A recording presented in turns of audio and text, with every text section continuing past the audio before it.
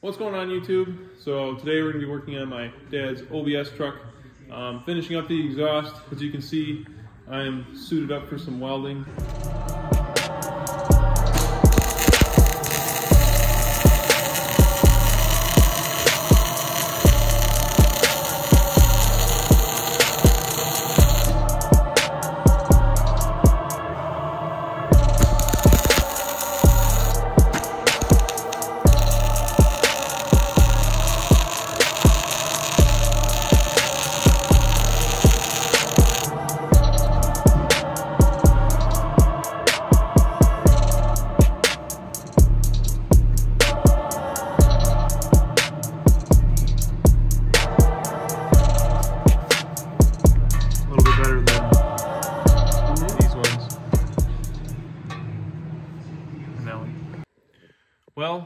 Think it's safe to say we can conclude that neither of us are welders, but a grinder will clean up what a welder can't do. So, with that being said, we can adore this finished exhaust.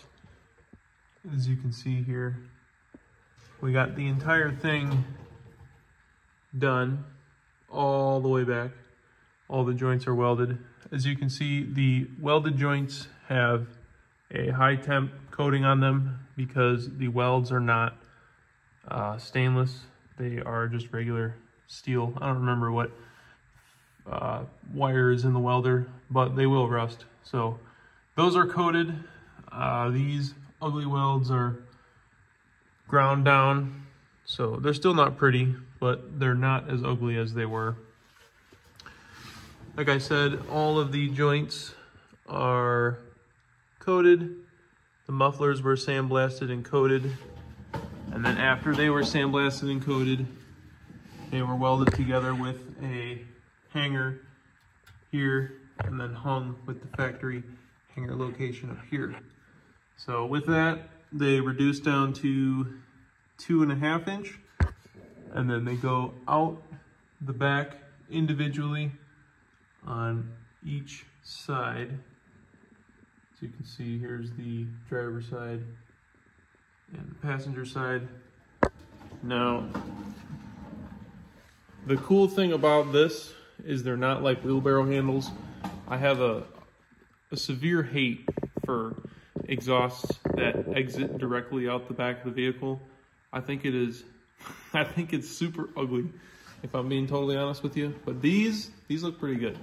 They're not exited out of the vehicle or right outside of the back. They actually dump right before the back of the bumper. So it's super low profile and it looks really good. We got the driver's side here. And then we got the passenger side here. So with that, we had to do a hanger that bolts to the frame. As you can see, there's a rubber isolator here to keep it from vibrating. Uh, this exhaust is extremely solid. There is not any shake in it really at all, which is great. So it's not gonna rattle, but looks super good.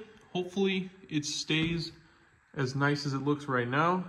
But with the exhaust being done, we can drop the truck back down onto the ground and start wrapping up the rest of the motor stuff and get the tune started.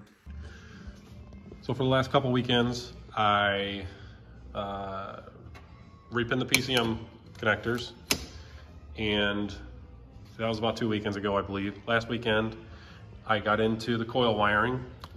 Um, these are coil harnesses off an LS1, and um, didn't exactly lay right in place nicely. I did have to peel back the factory tape, which was all crusty and old, uh, not a lot of flexibility there, and um, extended actually the coil for cylinder number two here. Um, it wasn't quite long enough. So I got them to lay out in a, in a way that I am happy with. Uh, the throttle body lays across right here, so this guy's gotta be tucked down. So this harness is beneath the coils on the, uh, on the passenger side bank, while on the driver's side bank, it runs up on top. There's nothing to stop it from laying here. There's no throttle body or anything getting in the way. Um, and it just laid out better that way. So whether that's janky or not, I don't know. Don't really care. It's how I'm doing it. Uh, seven wires from each of these guys. Uh, as I mentioned, from, from this connector toward the coils is an old harness from an LS1. Uh, factory stuff. I could have ordered after, aftermarket uh, harnesses, but after reading some reviews, there there's some problems with them. Uh, obviously made overseas and just not the best quality. So uh, if I really don't like the way these look, I can make my own in the future with the female side connector and get myself four coil connectors and make my own harness and make it look all pretty. But for now, um, this is gonna work for me. So from the female, or from, I'm sorry, from the male side of this connector on each side, on each side, I had purchased a pigtail. I think I specified I wanted it five feet long from here all the way wrapped around into the PCM. Not necessarily for this side, but for this side because it's longer. It's got to go farther distance. So those I got from EFI Connection and uh, they uh, they make them and send them out, which is nice because it's, like I said, uh, the import stuff is not always awesome. This is not import stuff. I believe this is a gentleman in Florida who, uh, who runs that site and runs that business. So five wires from this side, five wires from this side, come back through the factory harness and run all the way back to the PCM. That's this bundle right here. This is 10 wires. Um, there's one wire, trigger wire for each coil on each, on uh, both sides, and then there's a low reference wire for for the bank number one, low reference wire for bank number two. So run back to the factory harness, and I peeled back the corrugated tubing. Well, tried to peel it back, most of it broke, so pretty much replaced it from about where this splice is. Maybe I went a little farther, don't remember, um, to down here, and all of this guy here up to this point is is new. I had some of that stuff in the basement, um, so I just used what I had and replaced it because it was just breaking, cracking, tipping, falling apart. Yes, I had these these intake ports covered while I was doing all that work, um, obviously to keep any kind of junk from falling down in there.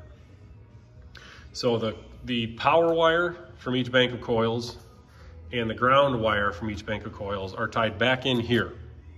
This is where the original ignition coil and ignition module wiring came out of the harness. So I peeled that back, uh, you know, had everything tape pulled off that harness, everything exposed and pulled those wires back, tied them in.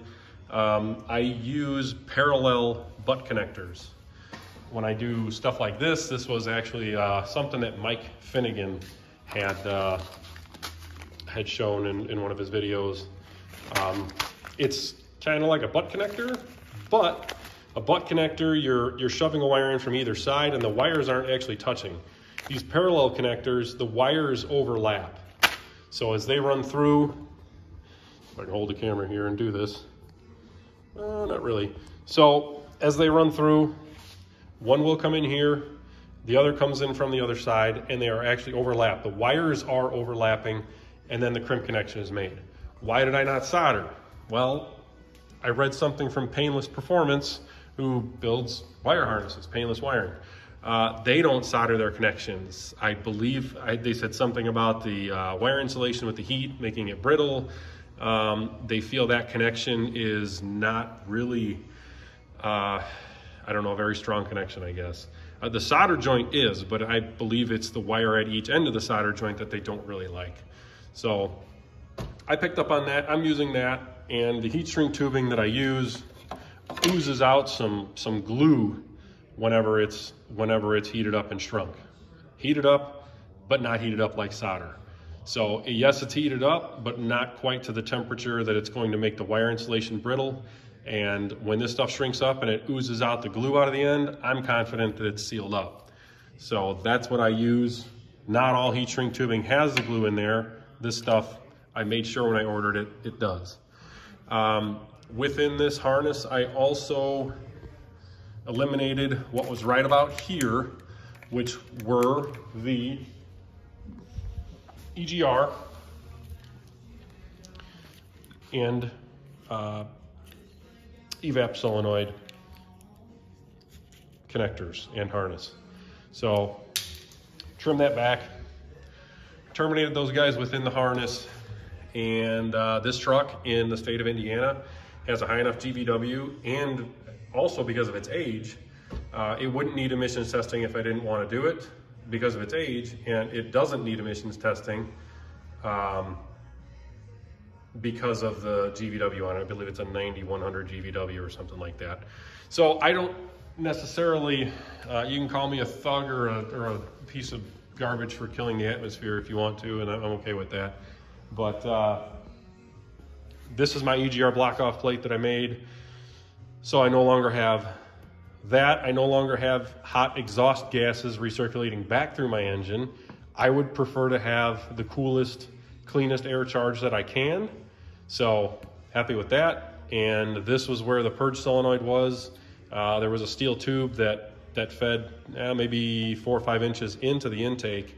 Um, drove that guy out and then just pipe tapped this guy and put a 3 8 pipe plug in it. So done with you, done with you. And that's how we're gonna roll with that. This rat nest here of terminal connectors and uh, and the two, you know, terminal one or uh, connector one, connector two, the blue and the red.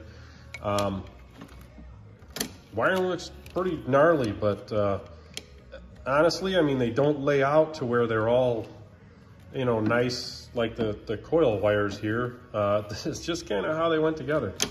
Um, I think I'm going to have to extend one or two of the wires out of the blue connector here because it's it's a little bit tight. Red connector seems okay. It's got plenty of length and the PCM should lay here where the uh, where the stock one did. That should be good. Uh, I have not put the terminal covers back on here, the, you know, the corresponding blue cover and red cover. Uh, I just haven't yet. They're laying on the workbench, but they're ready to go on. Um, I will tape this stuff up. I will tidy this up after I know that everything fires up and runs and uh, it's good to go. This wire right here. This, this is a, uh, I don't know, an anomaly maybe? If, if this truck had dual tanks, this wire would have been used. This wire was designated in the uh, in the wiring breakout that I got from Lextech. Um, and so I had it inserted in, in the red connector where it was supposed to be, terminal 60, um, terminal, terminal uh, location 60. So when I went to do the coil near plug conversion, which the instructions from Lextech say to do the 411 swap first, which I did, and then do the coil near plug ignition swap, which I then did.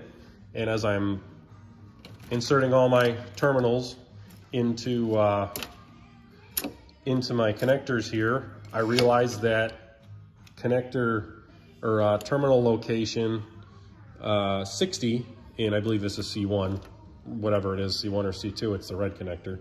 Uh, terminal 60 already had this wire in there. So that kind of confused me because I was supposed to use terminal 60 for my low reference for one of these brown wires here. Uh, that was low reference for bank one ignition coils. So I peeled out the factory um, service manual because I've got a set of service manuals for this truck, GM service manuals, which uh, I have some, some uh, experience with those from when I worked at a uh, GMC and Oldsmobile dealer in the mid 1990s. Um, yes, I'm a dinosaur, and we used service manuals. We didn't use the internet. We didn't have the internet. So service manuals are very handy. They've got the wiring diagrams in there. All the pinouts are in there. Um, I was able to find that this was originally for a, uh, its location in the old connectors was for a, uh, a fuel tank switch for uh, a fuel tank module uh, switch module, whatever they called it. This was for a vehicle that, that was equipped with dual gas tanks.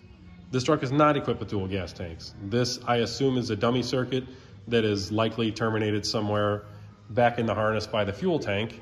So I am leaving this here. I'm not taping it back and, and uh, shrink wrapping the end of it until I know that the truck fires up, runs, has no issues. And I, I mean, it's I'm 99.999% sure this is not going to be necessary. but I'm gonna leave it here until I know. So once I've got, uh, got this thing fired up and I know that I don't have to repin anything, I actually have the wires in the right spots, uh, I'll get this cleaned up. It'll get tidied up and tied back. Um, I've also got to, uh, the truck has dual batteries in it, which it did not come from the factory with. I can tell that because of the way some things are done here.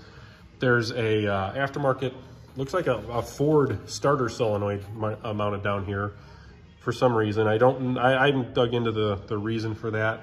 Um, I believe it was something to do with RV wiring. Uh, this truck pretty much just towed an RV as far as I know. It had a six pin connector on it. And with the amount of low miles that were on a thousand miles a year, you, don't really drive a truck daily and only put a thousand miles a year on it. So I believe this was something to do with the RV.